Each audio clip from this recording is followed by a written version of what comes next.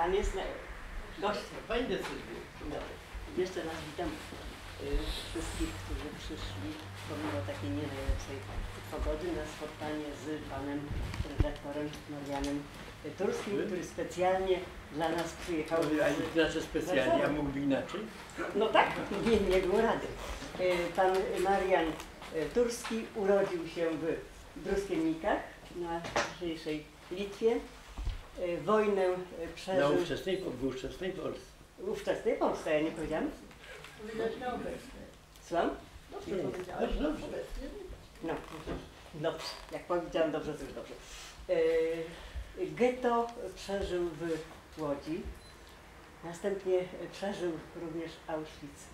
Przeżył e, marsz, Dokładnie dwa. Dokładnie dwa, Tak, był uprzywilejowany. śmierci Bo do, jeden z- ze święci z Auschwitzu do Buchenwaldu, a potem jeszcze w ostatnich dniach do Terezina, e, tak. z, z Buchenwaldu do Terzyna. do Terezinarstadt. Y, Tam zachorował na tyfus, został wyzwolony przez armię ówczesną radziecką. Tak. Od 1958 roku jest redaktorem działu historycznego w polityce. Oprócz tego jest y, pan redaktor bardzo zaangażowany w działalność organizacji y, żydowskich przede wszystkim. Jeśli chodzi o Stowarzyszenie y, Żydowskiego Instytutu Historycznego jest w tej chwili wiceprzewodniczącym, był przewodniczącym. Tak, Jeśli Pani opowiada o mnie, nie usiądziesz. To, to, może, to może nie, to może y, ja skończę tylko y, na tym, że y, pan redaktor jest odznaczony wieloma oznaczeniami najwyższymi zarówno polskimi, Będzie co do noszenia na pogrzebie. jak i zagranicznymi. Słucham? Będzie co do noszenia na, na, na Oj, podróże. proszę tak mówić. Proszę, proszę tak mówić. Y, Do, do 120 jeszcze trochę brakuje. Y, Ci z Państwa, którzy nie wiedzą, u Żydów nie życzy się 100 lat, tylko 120, więc dlatego Panu redaktorowi życzę 120. Y, Tak. Y, wo- Wobec tego, żeby już nie zabierać czasu, oddaję głos Panu redaktorowi i w imieniu wszystkich i swoim własnym bardzo serdecznie witam. Szczerze mówiąc, nie, ja tam nie pójdę, ja tutaj będę. Aha, no to bardzo dobrze. I szczerze mówiąc, nie bardzo wiem, co ja mam powiedzieć. Dlatego, że, dlatego, że ja mam taką propozycję. W życiu człowieka ponieważ żyje, jak widzicie Państwo, dość długo. I niektórzy może oglądali ten próbę filmu o mnie. I obejmuje to zarówno, dotyczy to dla niejednych może być ciekawe coś, coś mojego dzieciństwa żydowskiego, nie żydowskiego, polskiego, żydowskiego, e, z czasów wojennych, powojennych, po wojnie działałem tak troszeczkę na wielu frontach. Po tego mówi się może w ten sposób. E, Ja obiecuję Wam, że postaram się być, bo taki jestem zazwyczaj, maksymalnie szczery, aczkolwiek mm, kiedyś był taki minister spraw zagranicznych y, u Napoleona, y, Talleyrand, y, który przychodzi on do, do historii jako niesłychanie jaki, y, wzór dyplomaty. I on zwykł był mawiać. Nie ma pytań, na które nie można odpowiedzieć. Są tylko odpowiedzi, których nie zawsze człowiek ma ochotę powiedzieć. Możecie zadawać wszelkie pytania, prywatne, publiczne, państwowe, społeczne. Jestem gotów na wszelkie odpowiedzi. Nawet te, które możecie uznać za drażliwe. Proszę bardzo, zadawajcie takie pytania. To może zaczniemy od dzieciństwa. Może się jakoś rozruszymy. Od dzieciństwa. Tego żydowskiego. No, Od dzieciństwa mogę tylko tyle powiedzieć. Bo, pani, pytanie od dzieciństwa to jakby jakie konkretne to konkretnie odpowiem, ale mogę na jedno rzecz powiedzieć. Mm, moi rodzice byli y, tak zwanymi Litwakami.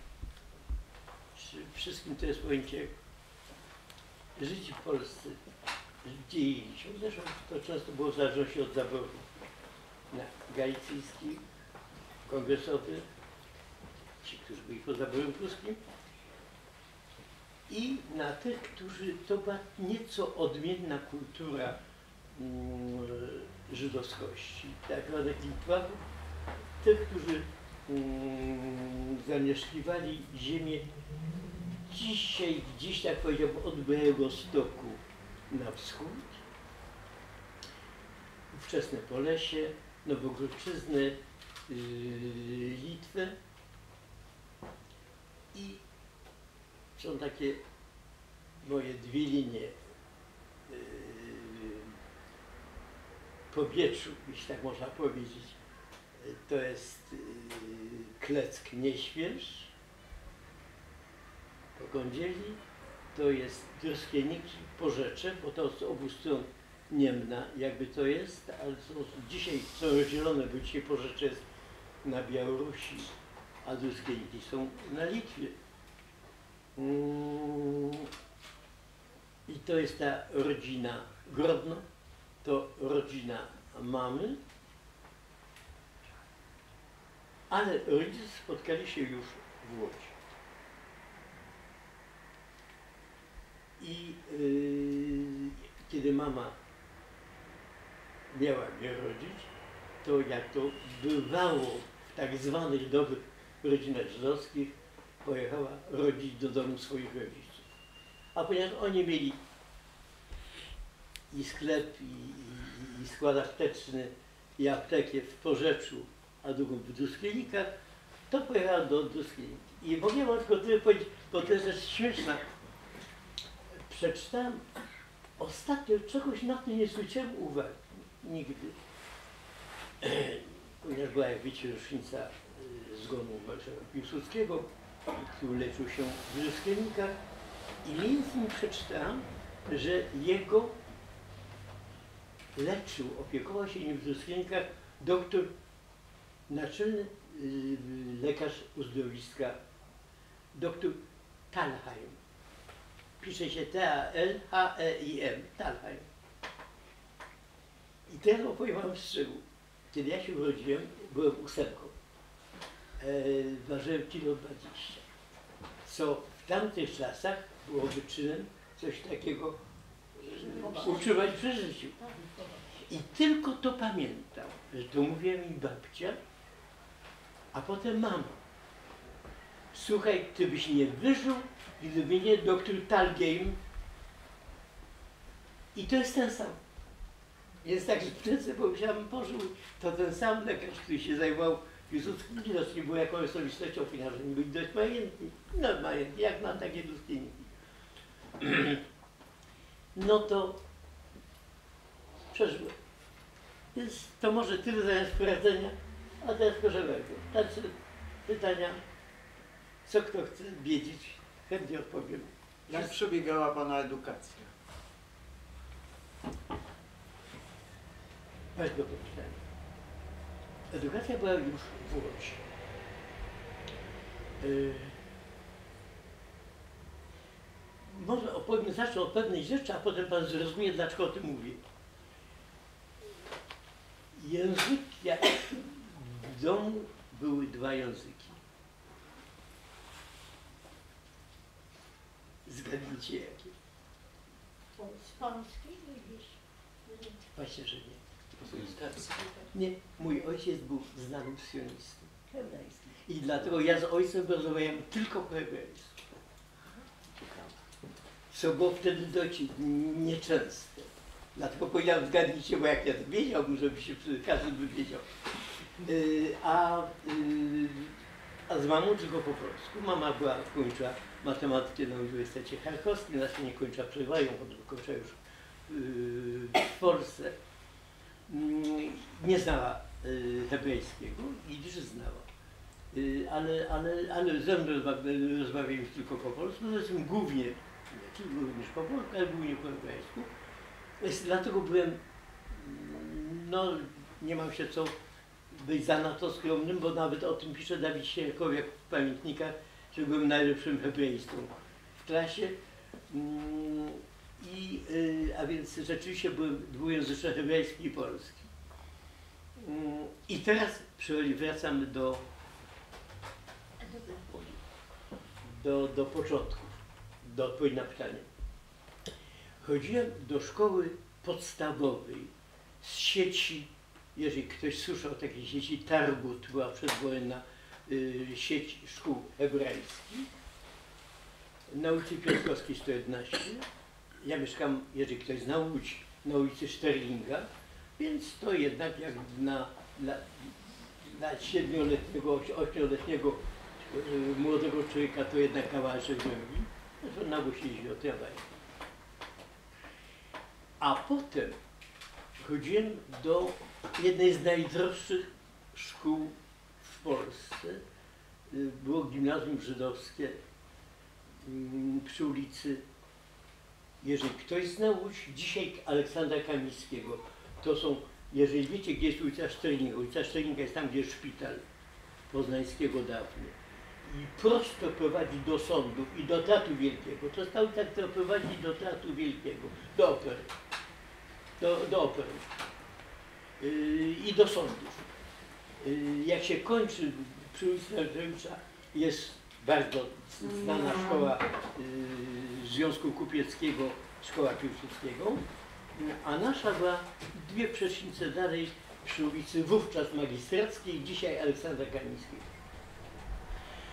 Yy, I tu zostałem zaznaczony, to mogę powiedzieć, mm, że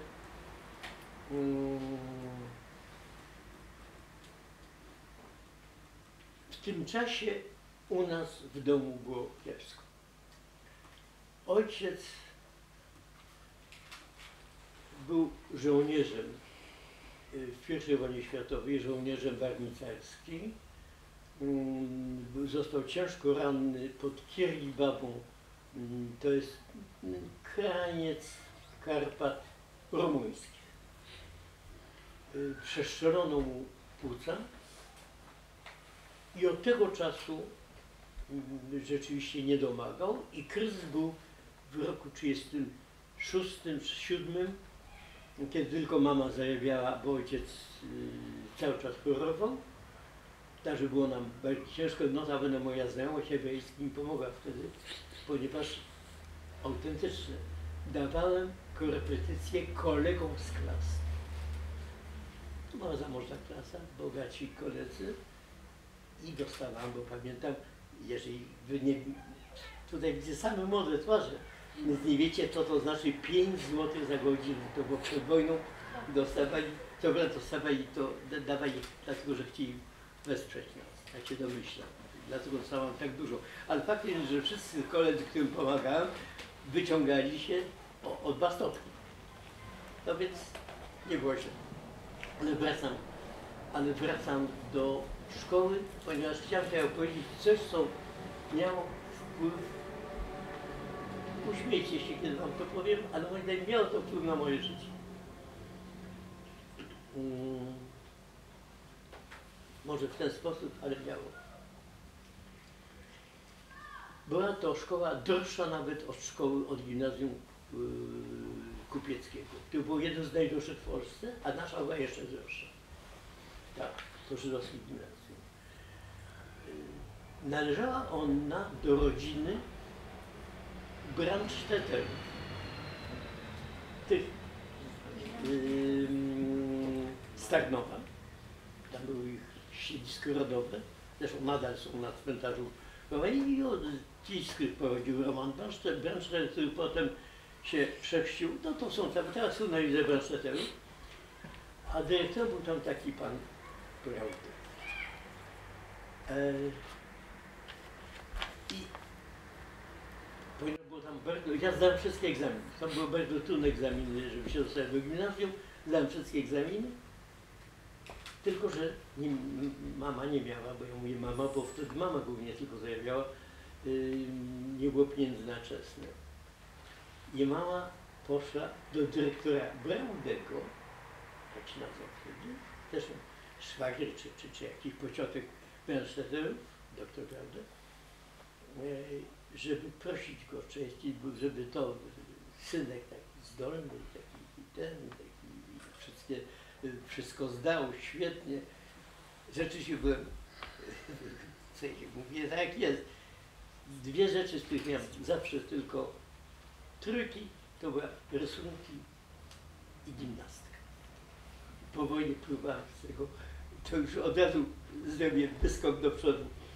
Po wojnie, ponieważ to był mój kompleks jako dziecka, to po wojnie, jak tylko już przeżyłem obozy i z wszystkiego, marzyłem o tym, żeby zacząć uprawiać sport i rzeczywiście potem miałem w tenisa, jeździłem na nartach, wspinałem się po górach i tutaj, że tak powiem, siebie sobie zrekompensowałem.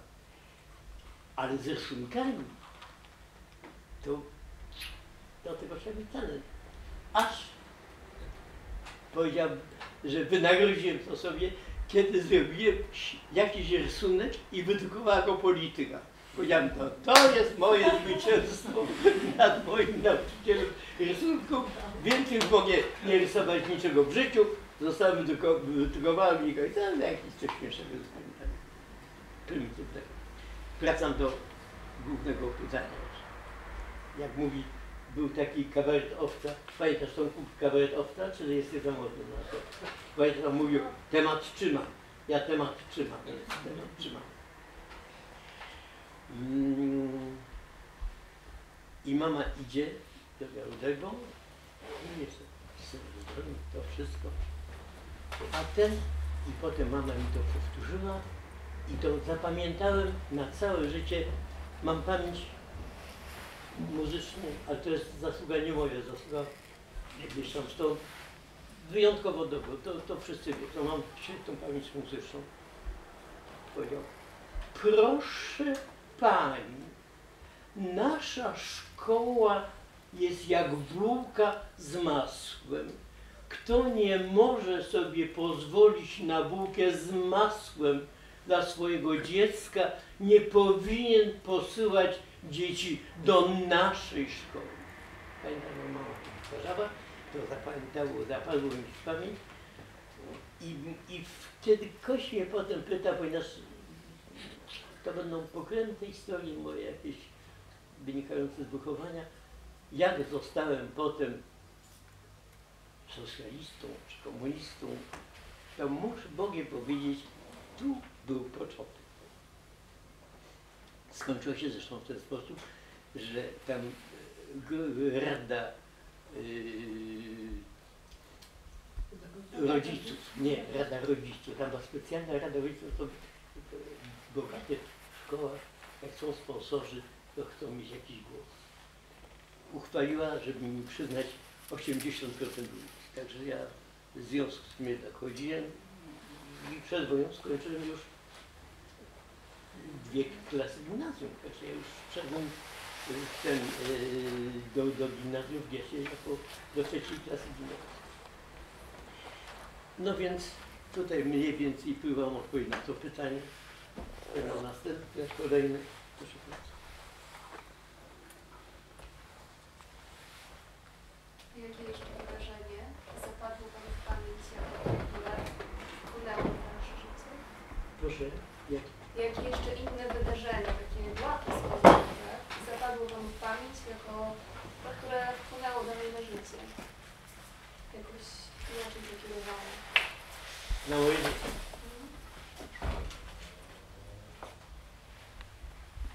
Trudno. Powiedzieć odpowiedzi na to.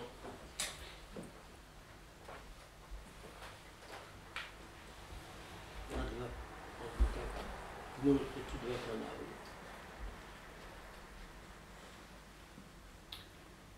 Yy, Pani Luba prosiła mnie, żebym przysłał taki film o mnie,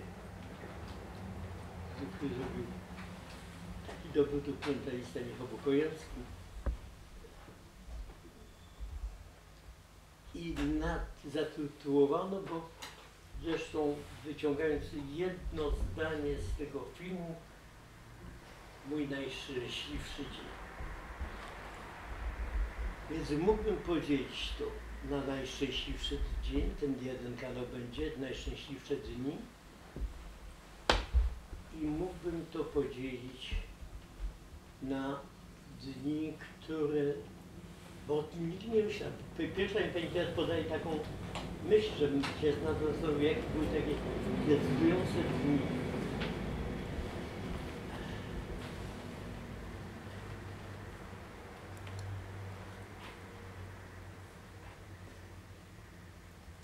Dobrze, próbujmy to tak ułożyć.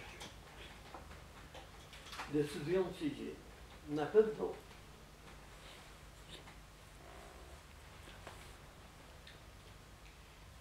w getcie należałem do organizacji podziemnej. Yy, Byłem długo oporny na, mówiąc języka dzisiejszego, na agitację tych, którzy mnie agitowali, żeby, żeby przystąpić do tej organizacji, do której wstąpiłem. Wynikało to z tego, ja, jeszcze mówię enigmatycznie, ale za chwileczkę powiem o co mi chodzi. Yy, jak powiedziałem, ojciec był sionistą, takim duchu mnie wychowywał. Powiem Wam nawet pewien szczegół.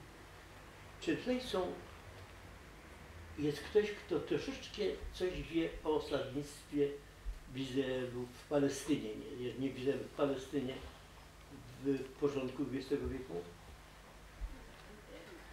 Czy ktoś słyszał o kibucu Dgania? Nie Wańkowicza, Wańkowicza. Dobrze, to już nie będę aż tak daleko powiedzieć, bo to już było bardzo... Dobrze, zostawmy to, to, po prostu przyjmijmy. Ojciec był rzeczywiście y, sionistą i takim duchu mnie wychowywał, był ze mnie dumny, cudowny ojciec, wspaniały ojciec. A ja mu zrobiłem w końcu największą przykrość jego życia, ponieważ przystąpiłem, wstąpiłem do organizacji, która której nie sprzyjał, wolałbym, że był winny, ale to dlatego, że ona była najbardziej aktywna. To była taka organizacja, która się nazywała Lewica Związkowa. Wiecie, faktycznie, faktycznie biorąc, to była taka tworzona przez mm, przedwojennych komunistów w getcie organizacja, a przystą- wstąpiłem do niej wtedy, kiedy, ponieważ była to organizacja najczynniejsza. Znaczy, wiecie, jak człowiek ma lat 15, jest rozwinięty intelektualnie, na pewno byłem taki, jak moi rówieśnicy, to wtedy chce coś działać, chce coś robić i, i, i widzi, że oni coś robią, to chciał. Ale przede wszystkim mm, ja miałem bardzo wiele oporów. Nie śmiejcie się, nie, ale uwierzcie mi, że jest to prawda. Ja naprawdę byliśmy cholernie oczytani, strasznie dużo czytaliśmy. Ja naprawdę wiedziałem wszystko, co było w prasie polskiej o procesach moskiewskich z 1938 roku. O tym się mówiło. A więc o czystkach, o, o, o- brutalnym y, postępowaniu y, z tymi, którzy by- byli w tych procesach. I to było czymś, co mnie najbardziej wstrzymywało. Y, Przed, przed, przed przystąpieniem do tej organizacji, chociaż podziwiałem ich aktywność, podziwiałem ich wkład, podziwiałem to, co robili. Chciałem być i wszystko wstrzymywało mnie przed tym. Gdybyście mi dzisiaj zadali pytanie, na czym polegała te główne zastrzeżenia, gdybym miał je ująć w sposób niesłychanie uproszczony, to powiedziałbym w ten sposób, że jeżeli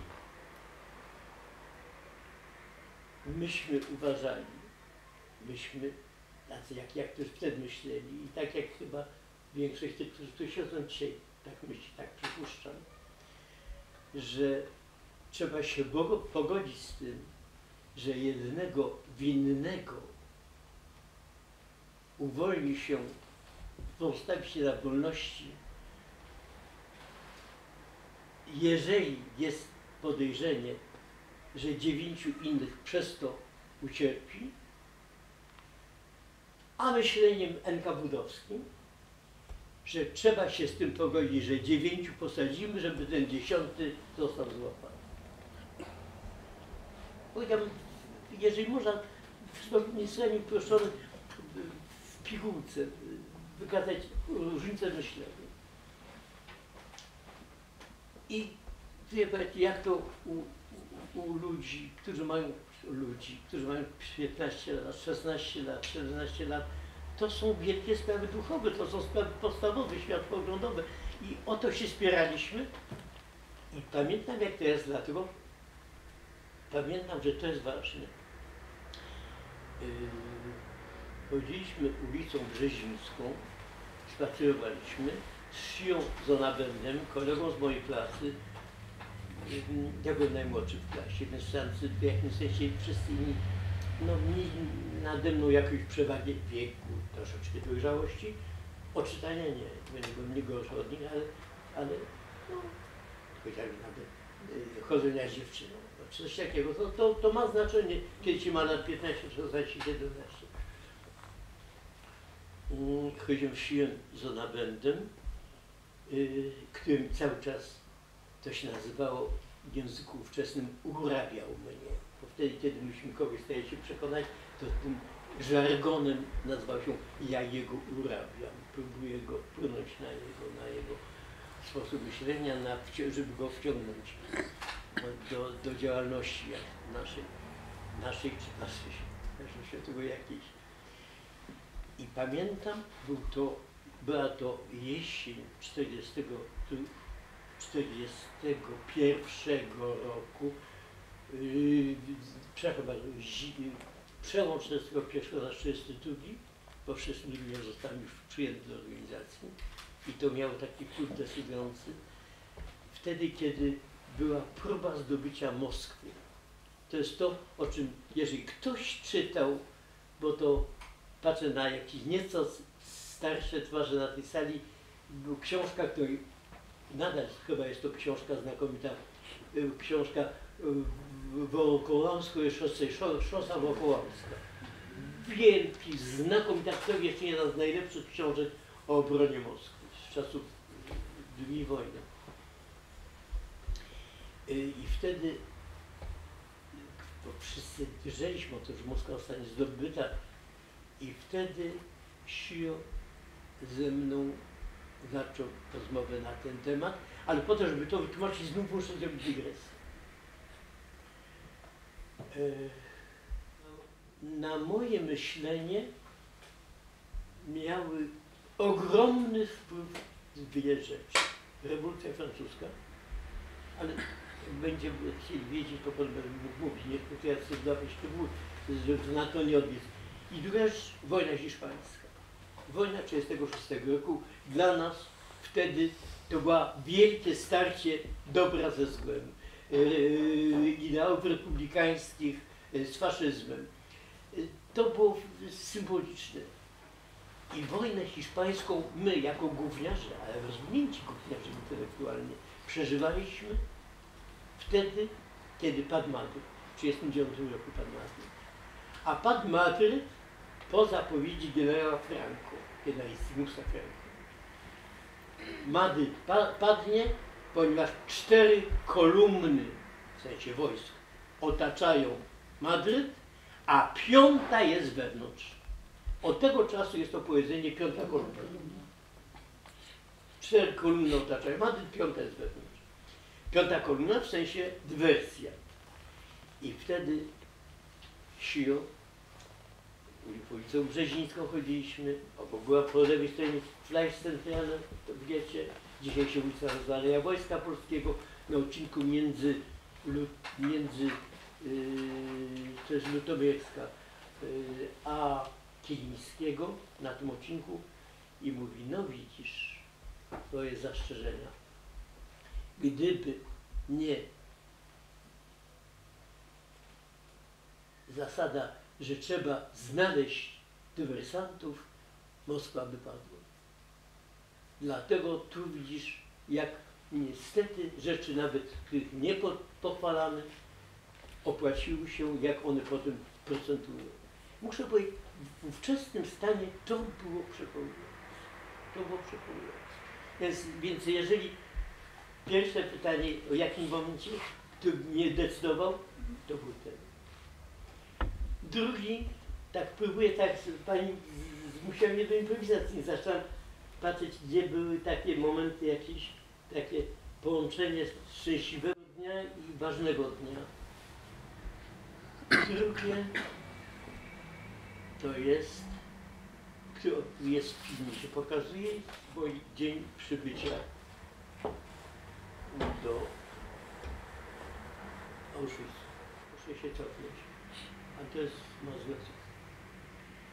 Y, Ponieważ ja byłem bardziej obyty jest językami niż inni, zresztą mam talent do języków, to łapię bardzo łatwo. Ponieważ troszkę y, znam, y, uczyłem się niemieckiego, trochę angielskiego, to francuskiego uczyła mnie mama, austriackiego uczyła mnie mama, więc dlatego w, getcie byłem w ramach pracy konspiracyjnej y, w tej fazie końcowej, bo w roku 1934 byłem przy pisaniu mm, takiego biuletynu informacyjnego. Między innymi korzystaliśmy, y, było tylko podobno tylko sześć, ale kto mogło być i, i, i, i 106, tylko nikt o tym nie mówił, y, aparatów radiowych, mm, od, od, odbiorników wiecie, wie, tego nie wiem, no był, nasza, nasza organizacja. I między był nasłuch BBC. I w 1944 roku już były informacje o Auschwitzu.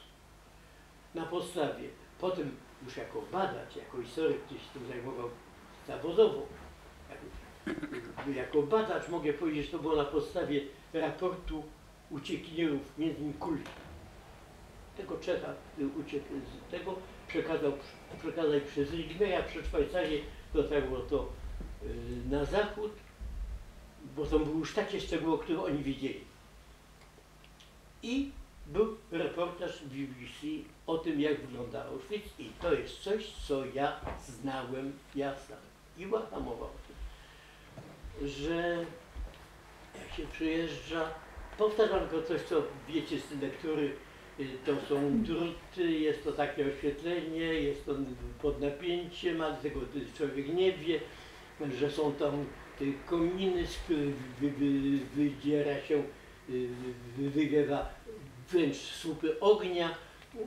Opis, następnie opis o tym, jak wygląda y, pierwsze przyjęcie na rampie, jak wygląda selekcja, że większość idzie w jedną stronę i to jest na śmierć do gazu, inni idą tutaj i tak. I jak wygląda ta droga, notabene ci, którzy teraz są w Auschwitzu nawet nie wiedzą, nie było źdźbła trawy wtedy. Było to było wszędzie. Nie było trawy w ogóle. Tylko tam, gdzie drenowano było troszeczkę trawy, a nie było, to było błocko, błocko. Nic innego. Yy, więc opisują tę drogę, jak to jest. I przyjeżdżamy do Oświęcimia, a teraz i to będzie miało wpływ na to, ale to jest taki częściowy wpływ. Mm, W końcowej, wtedy kiedy wiadomo że likwidacja getta nastąpi, bo wszystkie getta zostały zlikwidowane w Polsce, poza jednym gettem łódzkim, ostatnie, które było, moje kierownictwo mojej organizacji, tej tak zwanej lewicy związkowej, kazało nam się, przygotowało coś, co było jakby bunkrami. Nazywaliśmy to bunkrami, bo wiedzieliśmy o tym, że takie były w getcie warszawskim. To były jakieś tam y, bałuty, nie mają się do Muranowa. Bałuty były jeszcze zupełnie bez kanalizacji, bez niczego. To, to, to Muranów y, warszawski to była y, dwie klasy wyżej standardem w stosunku do Bałutów. Więc to było prymitywne, jeszcze zupełnie prymitywne, ale liczyliśmy na to, że ofensywa rosyjska, radziecka, no to te kilka dni przeżyjemy w ukryciu, nawet jeżeli będzie ciężko, jeżeli będzie źle, próbę trzeba się ukryć. I skomasowano całą organizację, przynajmniej tych, którzy się na to zgodzili, w jednym terenie, w jednym miejscu i mieliśmy tam się ukrywać. To miało wpływ na rzecz istotną w moim życiu, o której nawet nie umiem Pani powiedzieć, czy to dobrze, czy to źle. Mianowicie wtedy, kiedy ja tam byłem ukryty, w tym czasie wywieziono mojego ojca, moją mamę i mojego brata młodszego 6 lat do Oświęcimia. Więc mogę powiedzieć, że jest to źle, ponieważ nie byłem z nimi i w ostatniej drodze. Mogę powiedzieć, i nie będzie to chyba cyniczne, jeśli powiem, może to i dobrze, że nie byłem z nimi umie na to co dobrze, każdym razie to jest fakt. I to już jest ten coś takiego, co wpłynęło na w jakimś sensie na to, że w tym momencie już po raz ostatni widziałem rodzinę w całości. Yy, Potem będzie takim momentem będzie mm, decyzja kierownictwa, że jednak się mamy ujawnić. Dlaczego? Bo, I, to, i to, to chciałem powiedzieć, ponieważ ono wpłynęło na to, że jednak postanowiliśmy zgłosić się to w ostatnim dniu, kiedy uprzedzili, kto teraz zostanie zostanie rozstrzelany, yy, czy, czy, czy jakieś inne groźby. I to miało wpływ. Dlaczego? Ponieważ w czasie okazuje się, żeśmy źle zrobili. Ponieważ wszyscy ci, którzy się ukryli, zostali przez zarządcę niemieckiego Bigowa włączeni do grupy tak zwanej czyszczącej getto. I przeżyli. Mieli zostać zastrzeleni, ale przeżyli. A dlaczego on nie wykonał żadnego rozkazu? Bo on sam chciał mieć jak najciszej, żeby było na, nad łodzią. Nie, on chciał się, on chciał, Bigo, chciał się dekować, chciał uniknąć frontu. Nie, nie, dlatego on chciał mieć jak, on sam przekupywał swoich Niemców, żeby, żeby utrzymać resztę tego getta, bo on miał podstawy, żeby tam być, żeby czyścić, zbierać pieniądze, szukać majątności i robić. Dlatego on chciał mieć jak naj, dlatego on mimo groźb wszystkich tych, którzy się ukryli, się ujawnili, włączył do tego, więc oni mieli szczęście, a my nie. Ale kierownictwo, i spotkał się potem, jeżeli ktoś spotkał, cudowna kobieta, Beata, Beatus, Święta Hinda, mm, Beatus, mm, była członkiem kier, kierownictwa tej organizacji, która dlaczego się wtedy tak postanowiłem, mówi z prostej przyczyny. Kiedy się ofensywa rosyjska zatrzymała z powodu powstania warszawskiego, wtedy widzieliśmy, że nie ma szansy, żeby oni się szybko zjawili w Łodzi. To prawda. Odwlekło się o, o 4 miesiące, o 5 miesięcy. Wobec tego widzieliśmy, że tej sytuacji, a nie mamy zapasów, a nie mamy wody, a nie mamy elektryczności, a nie mamy niczego, nie ma szansy. Natomiast, czy ja mówię chyba zbyt chaotycznie, zbyt zanadto mówię o szczegółach, ale ja myślę, że z tego wszystkiego, bo przypomniał mi się znów pewien szczegół. Jedna dziewczyna z organizacji sionistycznej, a wtedy już było jakieś porozumienie między konspiracyjnymi organizacjami, kiedy zaczęła się wywózka do Święcimia, zgłosiła się na ochotniczkę. Ja pojadę do, do tego, żeby, żeby wam opisać, co tam się dzieje, bo ciągle wiedzieliśmy, że Oświęcim to jest tylko gazownia, tylko mordownia. I dochodziły różne głosy, że, że to jest nie tylko mordownia, ale również obóz koncentracyjny, tak, normalny. Czyli, że takie odleczone śmierci. I ta dziewczyna jechała i opisała drogę do Święcimia.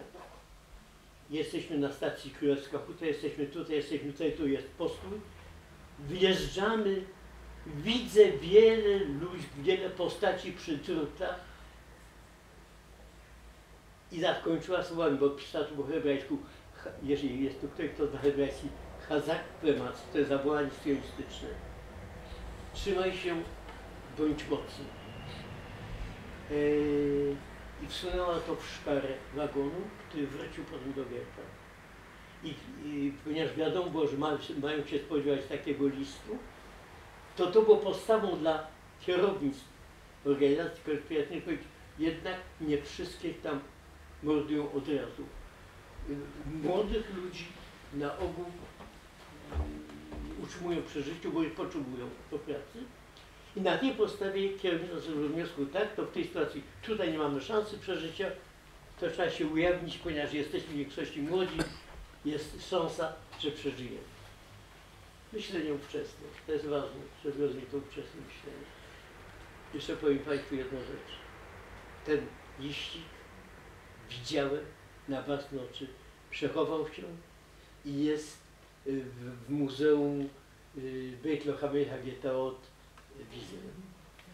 Widziałem, nie wiem, że on jest w Beit Lohamei Hagetaot, tam obok Akko, y, w, tym, w tymże słynnym muzeum. Także widziałem też ten, ten, ten, ten, ten, to jest rzeczywiście jak relikwia. I teraz wracamy i to miało wpływ na decyzję, żeby wyjść ostatnim dniu, jechałem ostatnim transportem i żeby pojechać do, do Sićmia. I teraz dalszy ziom tego, co się łączy z tym najszczęśliwszym dniem. A więc przyjeżdżamy, było nas w wagonie, jak wiem, 60-70 osób, nawet nie tak źle, bo później było 120. Mm, ale także to jeszcze nie było tak źle. Yy, przyjeżdżamy i zaczyna się sprawdzać wszystko to, co ja wiem. Bo, bo ja pisałem o tym, bo słuchałem tego. Drty, ogień z kominów jakby wychylający się, y, ludzie tak tak wyglądają y, i następuje selekcja. Po selekcji widzę, że ja jestem w mniejszości. Ale ta mniejszość to są ludzie młodzi, wyglądający zdrowo. To myślę, oczywiście myślę egoistycznie, to dobrze. Dla mnie dobrze. Ja jestem po dobrej, po dobrej stronie po selekcji. Po tamtej stronie widzę starców, starszych, kobiety, dzieci. Jakby się wszystko potwierdzało to, co słyszałem. To się powiedział, jeżeli ktoś wie, jak wygląda ta droga na rampie w, w, w, Birkie na Brzezińce, to jest tak mniej więcej na wysokości tego basenu przeciwpożarowego, tam gdzie jest wejście, jeżeli ktoś pamięta, ja to pamiętam dobrze, ale to nie dziwne, tam gdzie jest wejście, na lewo idzie się do baraków murowanych, do kompanii karnej, do obozu kobiecego, po prawej jest tak zwany Zigeunerlader dawny, czyli cygo, obóz cygański. Na tej wysokości odbyła się yy, selekcja. I rzeczywiście informowali nas w piątki, zaczyna maszerować. Ci, co idą, niestety, mają bliżej, idą w prawo, w stronę tego, co się nazywa dzisiaj krematorium 2, tam gdzie jest ten pomnik obecny. Jeżeli ktoś pamięta, gdzie pomnik, to jest gdzie jest te 19 tablic i pomnik, i tam obok jest krematorium 2. I w tamtą stronę idą, a nas prowadzą w lewo i dróżką między, yy, między dwoma częściami obozu. Okej, to jestem myśli okej. I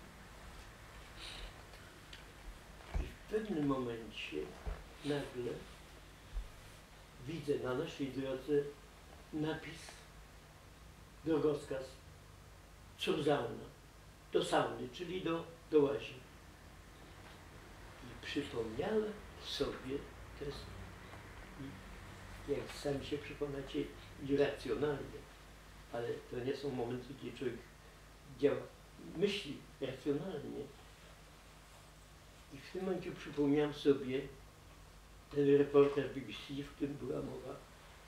A na tej drodze po selekcji zobaczycie napis do sauny, ale nie dajcie się oszukać. ta sauna to jest komora gazowa. I to jest prawda, bo do wszystkich innych, tam gdzie były komory gazowe, był został. Tak samo. I w tym momencie narobiłem wchodzić. Stojący na człowiek widzi, nagle widzi, no tak, powiedziane, co z tego, mogą nas brać, chociaż tej już nic nie myśli. Mm, I tak się zastanawiałem na tym, czy mam powiedzieć. Chodziłem razem z moim przyjacielem, organizacji Zdenu Miszka Samerson i z jego ojcem, panem Samersonem. A pan Samerson cofnę się o kilka godzin, czy o kilkanaście godzin w wagonach towarowych, którymi nas wozili z Łodzi do, do Auschwitzu, powiedział jeszcze, słuchajcie, ja mam w sobie manierkę wódki. Dobrze, przyjął do. W życiu nigdy wódki nie piłem. Yy, Jedyny, pamiętam, że kiedyś w sobotę jest taki cidusz po hebrajsku, takie uświęcony zwyczaj, że ojciec mm, nalewał kiszek wódki, czy takie wiśniówki, maszał kawałki i dał mi do spróbowania. To, to, to jest ta, ta, ten smak wiśniówki czy wódki, jaki miałem w ustale w życiu. Więc nigdy wódki przedtem nie miałem i tak sobie myślę, mam im powiedzieć, czy nie mam mówić, ja znam prawdę, ja tak, ja wiem, bo ja słyszałem, ja wiem, wszystko mi się zgadza, wszystko mi się potwierdza. I to mi się coś, no, coś jest, i sobie myślę, co to da? Już jest nieodwracalne. To ostatnie 15-20 minut nie chcę, żyją jeszcze tak jak jest. A ja wiem, co wiem. I tylko powiedziałem do pana Samuelsona, seniora, pan mówił, że pan ma majerkę z wódką, czy mogę panu powiedzieć o łyk wódki? To pierwszy łyk wódki w życiu. Wódki i nie bardzo komfortowo, bo jak wam mówiłem, narobiłem, maszerowałem dalej. Po czym, po czym jak weszliśmy, to jednak była prawdziwa łaźnia, bo nas jednak wybrali do życia. I do chwilowego życia przynajmniej. Mówię do chwilowego, bo pierwszym, który z moich grup, potem byłem w grupie takiej jednej, który zginie, to zginie ten, że Miszka Sareczny, ten był przyjaciel. Ale to już jest, ale to będzie za kilka miesięcy, to będzie później, w czasie meczu śmierci pierwszego. Ale wracamy do tego dnia, bo przecież pamiętam, co Pani pytała. No więc każą nam się rozebrać, yy, potem nas zgolili. I to jest coś, co zostało mi w pamięci na zawsze, bo pamiętam, co takiego zostaje w pamięci. Yy, mieli tępe żyletki. Mówię, mieli, zaraz powiem, kto to byli ci, co mieli. I nas golili. Powiedział, były tępe żyletki. Tośmy wszyscy, wszyscy kwalili. A ci, co to robili, to byli Żydzi holenderscy. A wiem to dlatego, że przepraszam, powtórzę to, co jest w filmie, więc dla tych, którzy nie wiedzą, ja naprawdę mam bardzo dobrą, jeżeli nie świetną pamięć muzyczną. Wtedy golili nas i nucili piosenkę. Nucili piosenkę, którą słyszałem jeden, jedyny raz w życiu. Wtedy pamiętam ją po dzień dzisiejszy. Kiedy byłem w Holandii, tę zanuciłem i powiedzieli mi, tak jest, to jest piosenka Żydów holenderskich. Wierzę w Holandię. Ich hab an Holland, la la la la la la. Ich hab an Holland, la la la la la la. To jest rzeczywiście piosenka, którą dostałem w prezencie płytę z tą piosenką. Słyszeli, że ja to znam. Dziwi się, że pamiętam coś takiego, czego nie pamiętają. I to i też śpiewali, robili swoją robotę na godzinę, a potem polali nas lizolem. Czy wszyscy wiedzą, co to jest lizol? To jest taki środek dezynfekujący piekielnie ostry, wiecie, jeszcze jak krwawisz i poleją cię lizolem, to szalejesz. I wszyscy ryczeli, poza jednym człowiekiem, poza tym, który był szczęśliwy, ponieważ zrozumiał, że to jest do życia. I dlatego nazwałem ten dzień najszczęśliwszy dniem mojego życia. Ale takich nie jest, to jest taki drugi dzień. A potem, a potem będzie takich decydujących mm,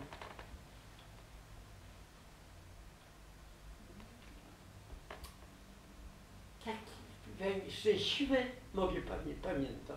Ja oczywiście jest pierwsza inicjacja mówimy, chłopca, to, to jest ten dzień, którego się. Yy, Dzień, w którym moja córka wygrała międzynarodowy konkurs muzyczny, fletowy. Yy, Spośród 130 kandydatów los- wygrała yy, z 13 krajów wygrała nie, przepraszam, z 32, 132 wyeliminacja. 42 z 13 krajów wygrała. Najszczęśliwszy dzień. Ja wiem, najszczęśliwszy dzień nie ulega wątpliwości. To był dla mnie otwarcie muzeum. To był dla mnie jeden z tych dni, które mogę powiedzieć, bo najszczęśliwszy. To tak, A dzień wyzwolenia? proszę. A dzień wyzwolenia obozu? Dzień wyzwolenia. No.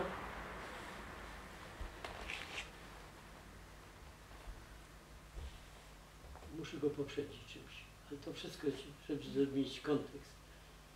Yy, 11 kwietnia 45 został wyzwolony Buchenwald.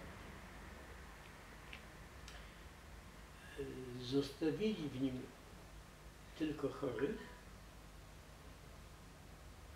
i wszyscy wiedzieliśmy, że chorych likwidują, nikt nie chciał być chorym i zostać, a ponieważ już lada chwila będą Amerykanie, Anglicy, więc no to co jeszcze tam.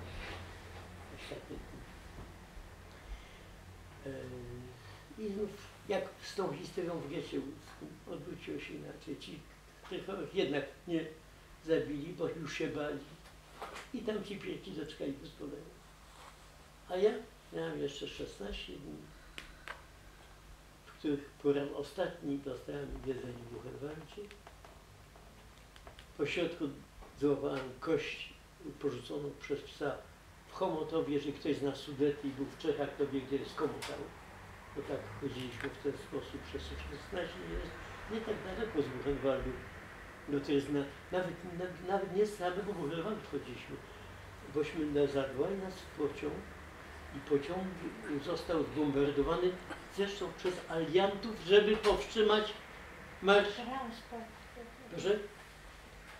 Na, w miejscowości Reitzenheim, jeżeli ktoś był na pograniczu Niemiec i Czech, jed- to jest miejscowość graniczna Reitzenheim i tam zresztą wielu zginęło, między innymi dwoje, dwóch moich przyjaciół, najbliższych, Wyciek Podlaski wiesz, i doktorów.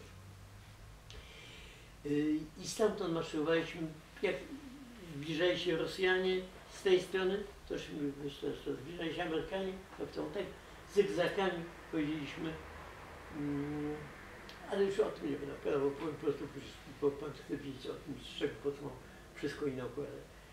Mm, I w czasie tego marszu drugiego zostałem, no bo obłaziły nas cały czas setki, setki, tysiące. Yy, no bez nie było szans ani żeby się myć, cokolwiek. Zostałem zainfekowany tyfusem plamistym. Jak wiadomo, tyfus się inkubuje, dojrzewa w ciągu trzech tygodni, po trzech tygodni, ponieważ zapadłem na niego yy, tydzień czy pięć dni po wyzwoleniu, bo z tego zakładam, że gdzieś tam musiałem, czyli nie tydzień po tym, jak około 15, czyli że musiałem być zainfekowany jakiegokolwiek 23. Wcześniej tego tak wy- wynika z rachunków. I mój stan fizyczny to ma znaczenie dla tego, co panu, żeby odpowiedzieć panu. Był tak. Kiedy się wojna skończyła, ważyłem 32 kg. Obnażone całkowicie zęby, ponieważ w wyniku szkorbutu całkowicie odpadło mięso. W ogóle nie było tam mięsa. To był pełny szkorbut. Narość miałem na ostrzelach. Yy, I kiedy zjawiliśmy się w Terezynie, to było spokojnie, cicho, prycze, przyzwoite, jak na pamięci narodowej. Dawali coś do jedzenia, cokolwiek, więc było już dobrze. Wszystko, co dostawałem, z miejsca wydalałem. Pełna diaria, jak mówią po angielsku, a nie taka dezynteria czy coś. Każdym razie totalny ten także wszystko, ni- niczego organizm nie twierdzi. I to można by powiedzieć była już kompletna agonia. Taka stan agonalny. Yy, tu od razu uprzedzę jedną rzeczą, bo to jest rzecz ciekawa sama w sobie. Parę dni później, już po wyzwoleniu, jak wynika z tego, yy, ujawni się tyfus, 4 dni 41 stopni. I mój przypadek jest opisany przez profesora Winigreca z Pragi. Mam gdzieś kopię tego. Jak to tyfus, który powinien być aktem misericordii, jak z takim sztyletem, który, w czasach średniowiecza dobijano kogoś, żeby nie cierpiał. Miał być takim aktem misericordii, żebym już nie cierpiał. Wyzwolił mnie z wszystkich chorób. Zabił wszystkie inne choroby. I ponieważ była, nie było szansy, żebym mógł przeżyć tyfus, ale przeżyłem. I dzięki temu to prawda, potem miałem yy, kłopoty z sercem, bo serce, no ale jakoś przeszło to. I on to opisał, jak jedna choroba, najcięższa, zabiła inne choroby i uratowała mi życie. Ale wracam do pytania. A więc jest 9 maja, bo 9 maja nas oswobodzili. Yy, Rosjanie weszli do Terezyna. Yy, Ale były takie pół dnia, kiedy już Niemców nie było. Czy tam ktoś nadchodzi? Myśli, może Niemcy, może Rosjanie. Yy, Bo już yy, było takie pół dnia, kiedy nie było już Niemców, a jeszcze nie było Rosjan. I wszyscy rzucili się na? Na sklep oczywiście. Żeby coś wyszabrować, żeby coś wyci- wyciągnąć. Mój najbliższy przyjaciel, może komuś z Państwa to na co coś mówi, mm, Stefan Krakowski, albo Szmuel Krakowski, dyrektor archiwum z Jerozolimy. Najbliższy numer obok mojego, mój jest B... Proszę? We 94, a on był 07, a profesor Dobroszycki był 09. Także to są moi, którzy byli numer obok mnie.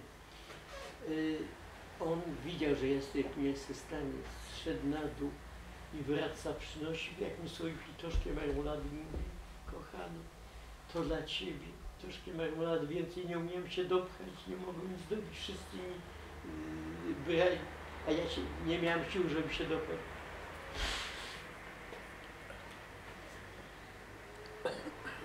Powiedział mu, co, ponieważ nic, na, nie miałem wody. To był stan totalnej apatii, totalnego dezinteresmentu. Także nawet wie pan, to pytanie, jakie pan przed chwilą zadał, zadałem sobie w pociągu, bo czytałem recenzję książki, tej książki jeszcze nie miałem w ręku, ale widziałem fragmenty. Yy, Grzebałkowski napisał Wojna i pokój. 13 opowieści różnych yy, babci, dziadków, tak jak ja jestem, yy, jak przeżyli dzień wyzwolenia. I teraz pomyślałem, jakby przyszła do mnie, to bym jej tylko powiedzieć, leżał na pyszy, przyniósł mi przyjaciel troszkę marmolady i powiedział, zjedz sam. On powiedział, a ja to dla ciebie zdobyłem, to tylko więcej nie mogłem. Jakby chciała, to by to napisała, nie przyszedł. Wystąpił na ulicy. Czy jest coś, czego się Pan boi? Proszę, Jest coś, czego się Pan boi? czy jest coś, czego się boję? Hmm. Pani ciągle zadaje fajne pytania. Mm, to też, ale to, to tak jest, takie niespodziewane są te będzie. Czy ja się czegoś boję?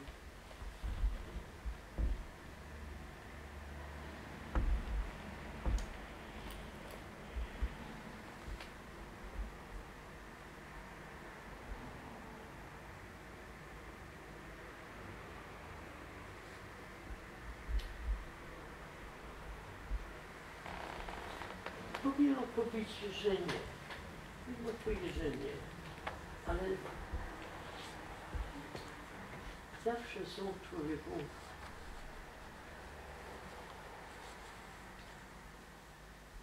strachy o jakieś postawy. To nie dlatego, że się boję fizycznie. Dlatego, że się człowiek czuje tak, jakby czuł, że wkłada je, przepraszam, do gówna, al- albo że go to otacza, albo że dookoła coś cuchnie. Poza tym chyba nie. Nie.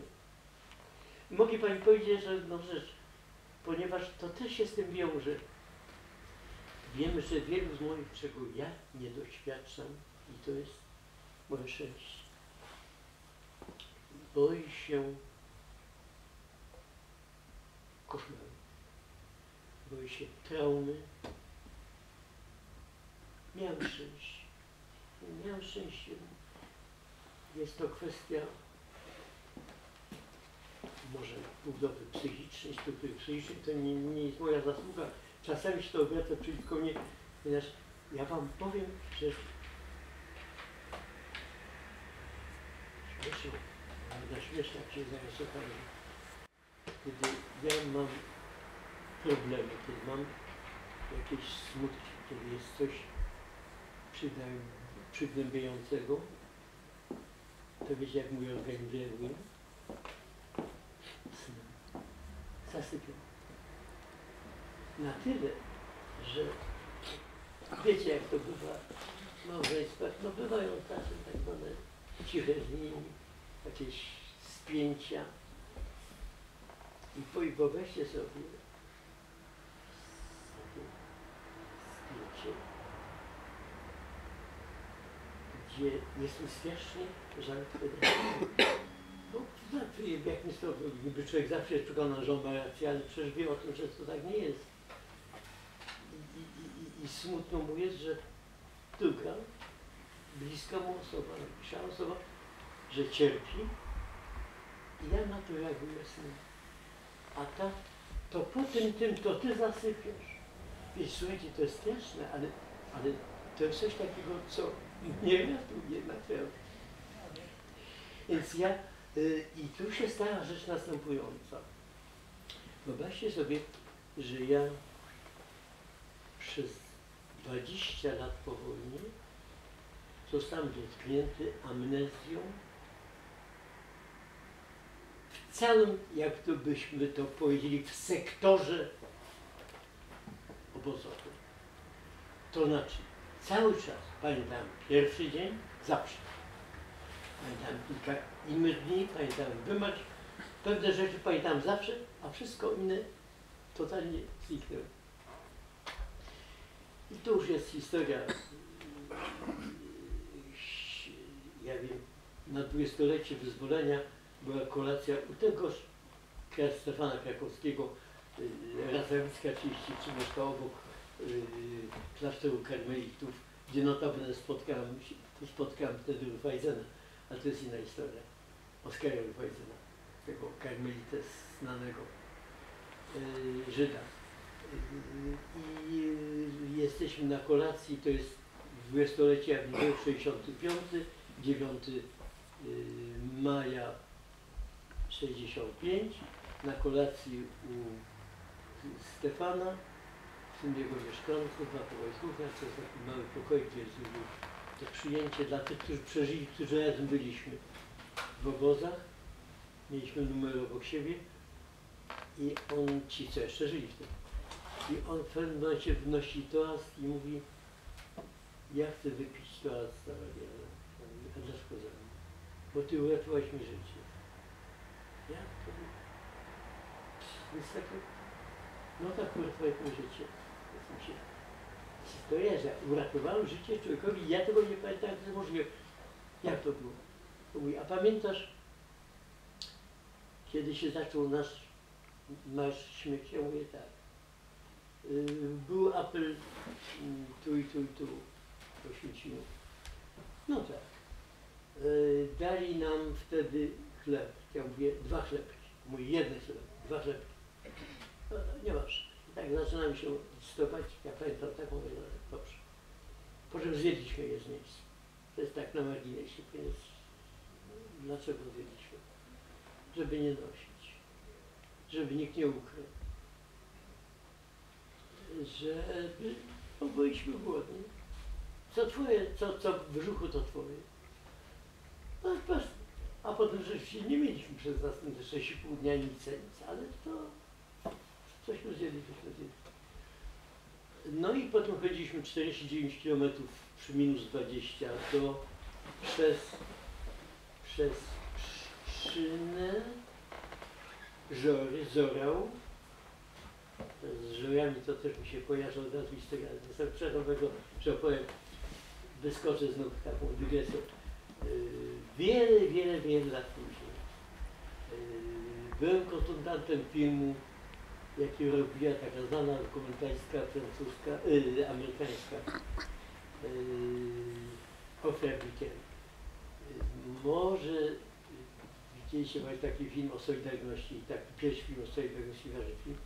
I u mnie w mieszkaniu, na Gimnastycznej 5, mieszkania w Warszawie, przyszedł wówczas ksiądz prawa, późniejszy biskup Orszulik. I ona robiła z nim wywiad. I w pewnym momencie on mówi, on jest mój rocznik. Momencie mówi, a ja jestem z Żory. Ja mówię, Żory? To właśnie tamtędy przechodziliśmy. A kiedy to? A tego dnia stycznia. On pamiętam, widziałem was jako chłopak, mój wieśnik, z balkonu.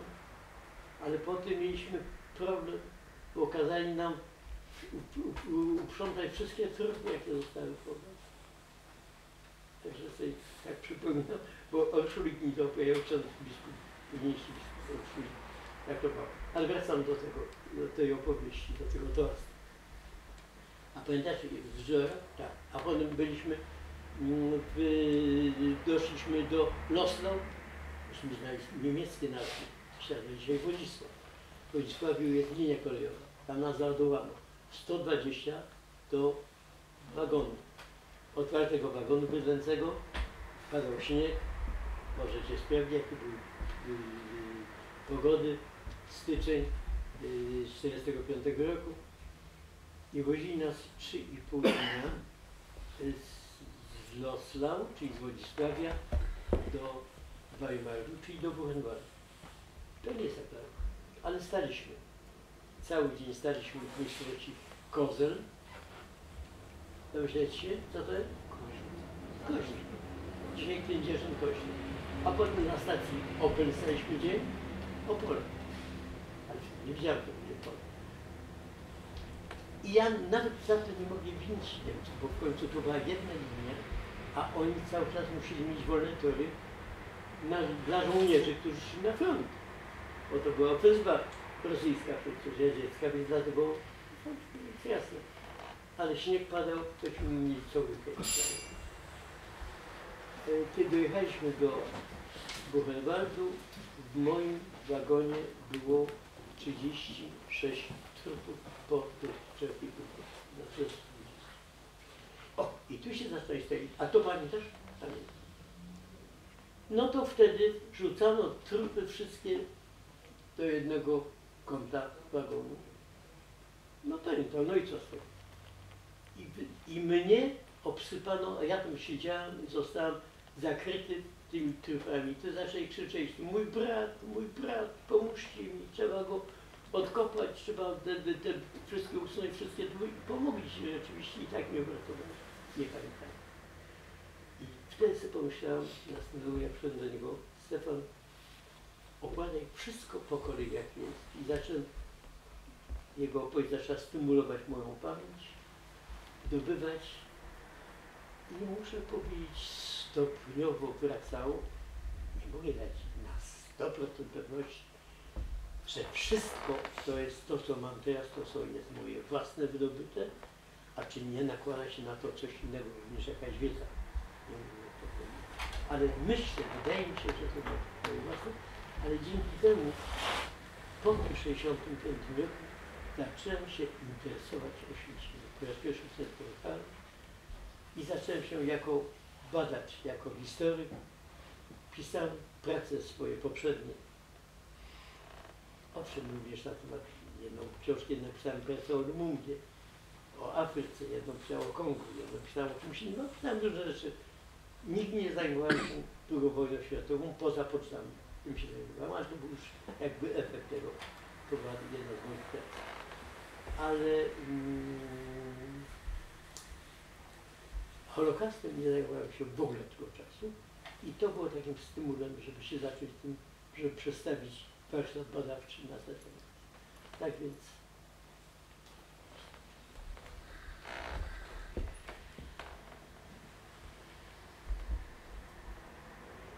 A co panu teraz sprawia radość? proszę, A co sprawia radość? co sprawia jadność?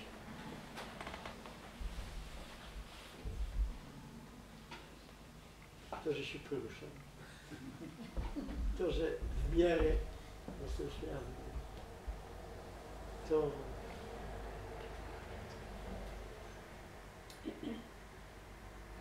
Pani, to było otwarcie muzeum, a byłem jednym z jego inicjatorów po 20 lat. Zrobiono ze mną wywiad dla BBC telewizyjny. Zresztą tam było kilkanaście innych stacji wtedy. W pewnym momencie ten facet z BBC zadaje pytanie Well, so are you glad, Mr. Swiss? Pan? Ja mówię, proszę pana, czy pan zna Biblię? Benedikt, który nie znał Biblii? Oczywiście, że pan o takiej postaci Mojżesz? Widzi pan, Mojżesz w tradycji to nie jest tylko prorok. To jest o Mojżeszu Żydzi między sobą, kiedy mówią Mosze, Mosze znaczy Mojżesz, mówią, nikt nie mówi Mosze, mówią Mosze Rabin. To jest jakby taki junktyw. Yy, nasz nauczyciel. Takie, taka jest terminologia żydowska. Nie, nie ma innego. Jak się mówi o tym Mojżeszu, mówi Mosze Rabin. Nasz nauczyciel. Widzi pan, Mojżesz był tym, który dał przyniósł dziesięć przekazań, który wprowadził wszystkich z który wyzwolił, który pośredniczył w rozmowie with the Almighty, Najwyższym. Więc jak Pan widzi, jego zasługi są takie. A Mojżeszowi Pan Bóg nie dał szansy, żeby wszedł do ziemi obiecanej. A ja, moje zasługi są takie, może jeszcze mniejsze. A zostało mi dane, żeby wejść do ziemi obiecanej. Pyta się mnie Pan, czy jestem zadowolony. Tak więc to jest, to jest coś takiego. Chyba na tym powiem Pani, yy, to jest niesamowite uczucie, jak jeżeli się wie, że się ma e, że się jest otoczonym przyjaciółmi, że się ma przyjaciół i że cię lubią. Niektórzy nie lubią. wstrzymuje kogoś od pójścia do głosowania. Do dziewiątej. Ja już swoją czynię. Ja spełniłem, pamiętam, y, temu. Matko Polko, czy spełniłaś swój obowiązek obywatelski? Czy poszłaś oddać głos na kandydatów Frontu Jedności Narodu? Przed megafon.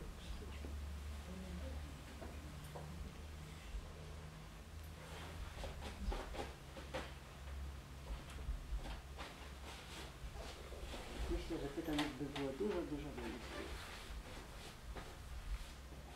Czy pan po wojnie studiował historię? W Stanie Warszawskim? Czy Na to Uniwersytecie yy, Wrocławskim. I Wyższej Szkole Naukowej. Nasze zdrowie.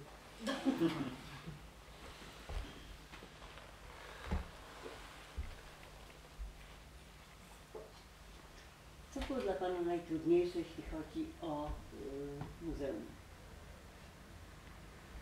Co było najtrudniejszym problemem? Zaczyna się nowa seria, dobrze. Nowa runda. Mogę na to odpowiedzieć z całym przekonaniem. Mieliśmy trwający kilkanaście miesięcy kryzys yy, w uzyskaniu funduszy. I wtedy.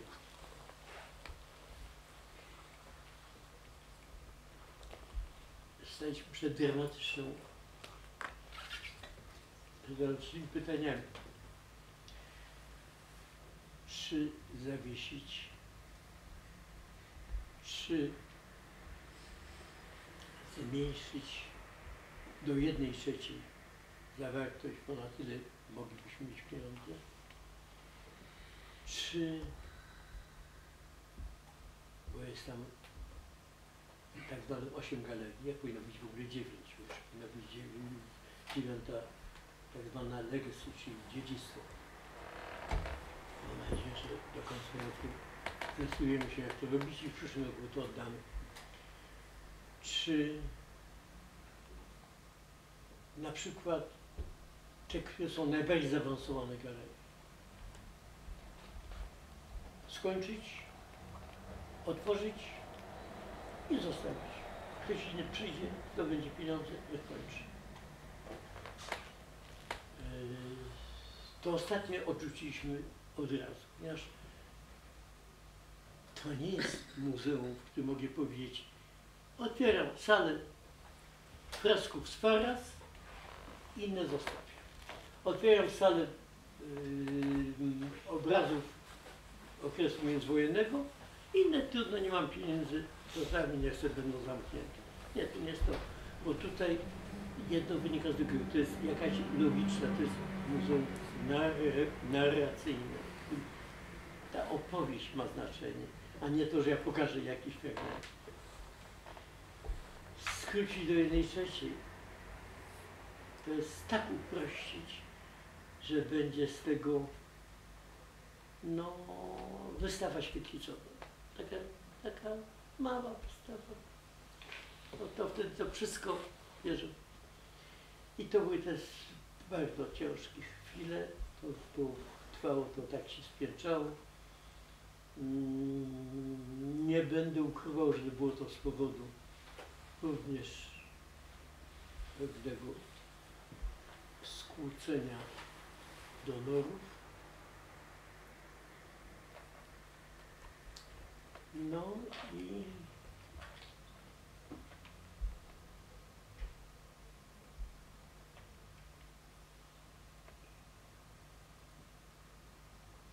może nie powiem układać, ale już. Bardzo wtedy pomógł Aleksander Kwaśniewski. On pomógł w 2000 roku, kiedy on po raz pierwszy postawił tę sprawę na forum międzynarodowym w czasie konferencji yy, większości szefów rządów w Szkowie. Potem było bardzo ważne, naprawdę rola jest nie do przecenienia świętej pamięci Lecha Kaczyńskiego. W tej sprawie rzeczywiście wielokrotnie dzwonił do mnie panie przewodniczący, tam przyjdzie do mnie krótko, jestem prezydentem miasta Warszawy. Ja w tej sprawie zrobię dużo zrobię. Dał też taki push. A tutaj push mi dał po drugi Aleksander Kwaśniewski plus parę innych osób, które pomogły i w końcu po wielu staraniach, to trwało ładne miesiące, ale się udało, na, nakłoniły najbogatszego człowieka w Polsce, czyli pana Kulczyka, że zadeklarował 20 milionów i gotów, i powiedział, że daje gotówką od ręki. I nie będę ukrywał, że jego decyzja wpłynęła na decyzję żydowskich donorów z Ameryki. To było coś, co ogromnie przyspieszyło natychmiast yy, inne donacje i zaraz potem dostałem deklarację o stanie 7 milionów dolarów z jednej fundacji, kilka milionów z innej. I to jest to, co rozwiązało sprawę. Mogliśmy już powiedzieć, aczkolwiek w międzyczasie już rozwiązaliśmy umowę z, z dużo droższą niż polska kompanią designerską Event Communications, ci, którzy zrobili podwaliny designu, mówię brzydko tak, a sobie po polsku architektury wnętrza Muzeum Londynu. Zmieniliśmy ją na polską firmę, ale to Polska się od nas dobrze wywiązała z tego. Była tańsza, była na miejscu, było łatwiej. No ale niemniej to, to, to chyba był ten moment, a potem już była, czy zdążymy, jak zdążymy, a kiedy zdążymy.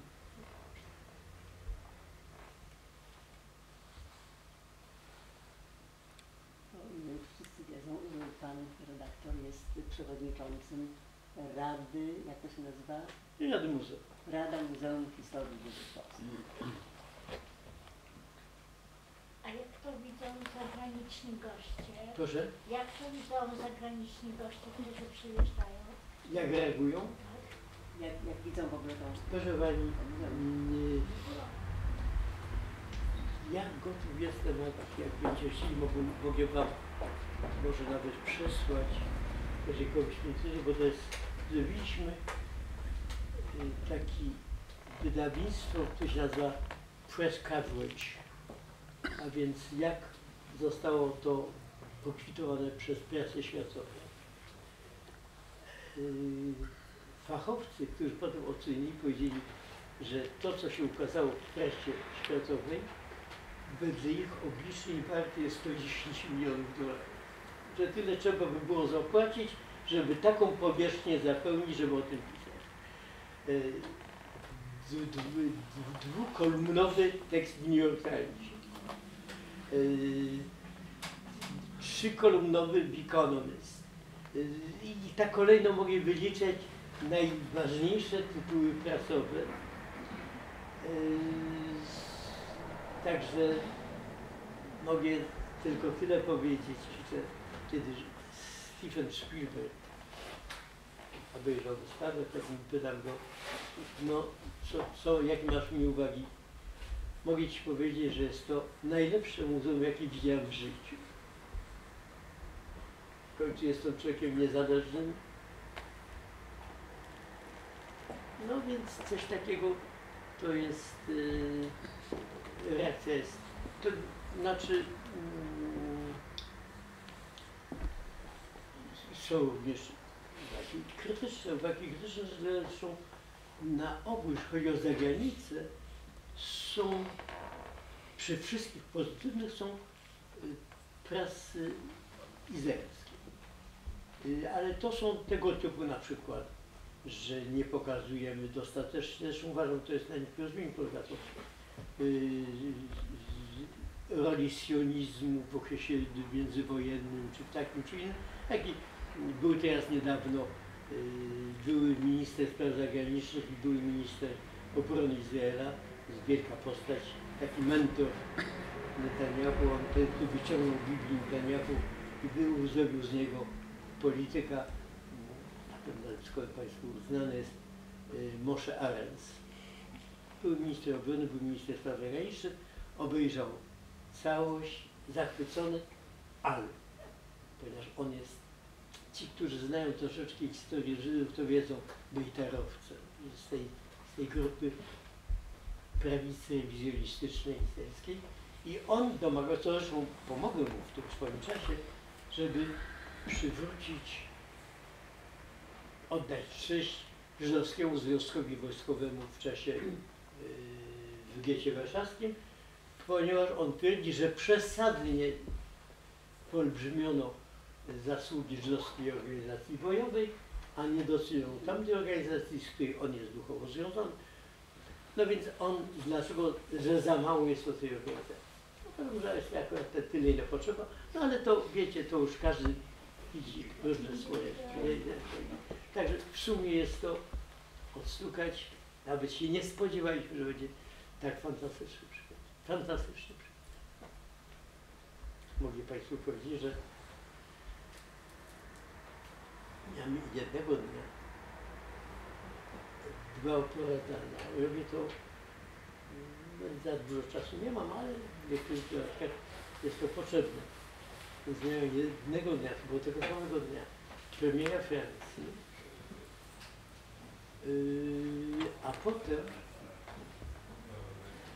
tego dnia była konferencja episkopatu Polski. Przyszło 58 kardynałów, arcybiskupów, biskupów, cała wierchuszka episkopatu. E, I tu się umówiliśmy z dyrektorem, że tę grupę to tylko my dwa bierzemy na oprowadzanie, żadnych innych, już tutaj. E, Ja dostałem 30, on wziął 30. Potem żeśmy wspólnie z nim spotkali.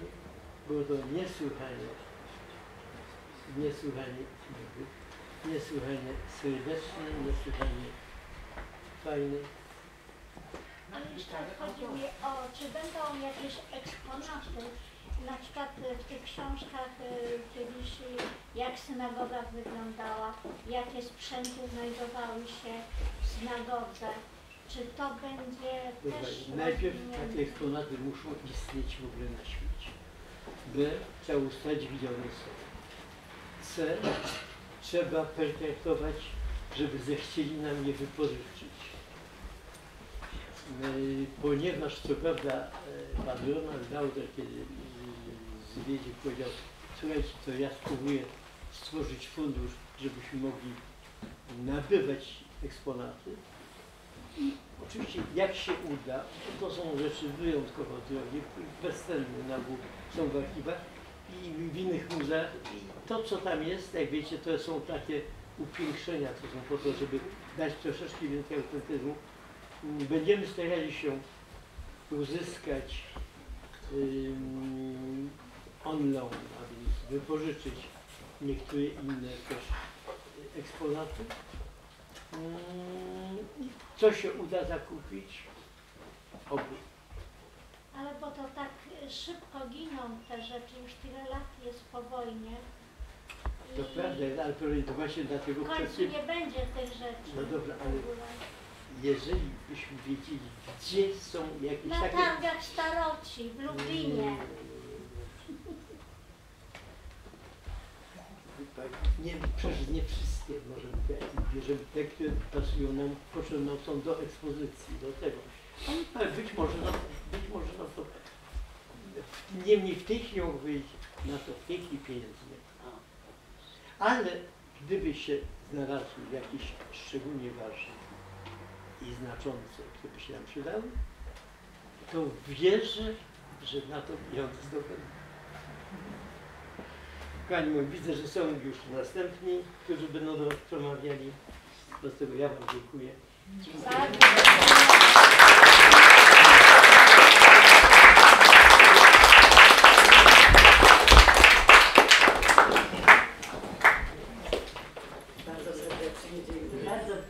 wdzięczna, że, że Pan zechciał skorzystać z Nie, zaproszenia. nie, nie, nie, co Pani mówi takie rzeczy? Nie, no oczywiście.